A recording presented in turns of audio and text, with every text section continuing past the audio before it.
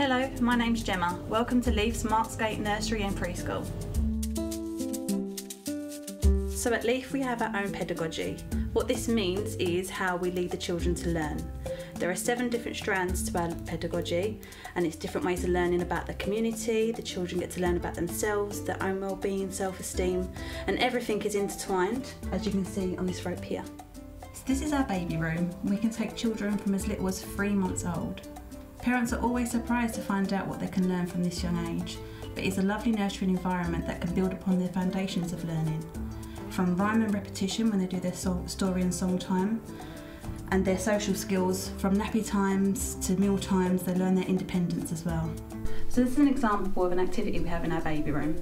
It doesn't look like much at first glance, but it has a lot of learning opportunities for the children. For example, different textures and how it feels against their skin, on the floor, what sound it makes, what they can do with it, and playing with their friends and their social skills. So this is our two to three years room. In this room we are challenging the children further with the activities that we set out for them. For example, with the sand and the scoops and the rice, this is where they learn their hand and eye coordination.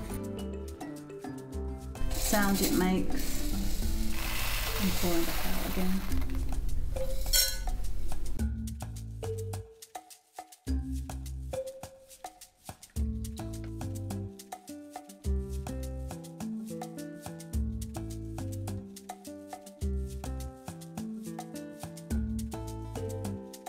This is our preschool room for children aged from 3 to 5 years old.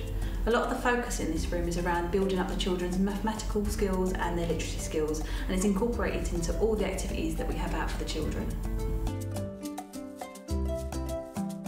So this is an example of one of the activities that we could have out in our preschool room.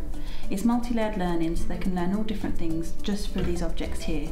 So it could be numeracy skills for counting, learning through their fine motor skills and matching up the nuts to the bolts, or using their creativity skills by making a picture in the frame here.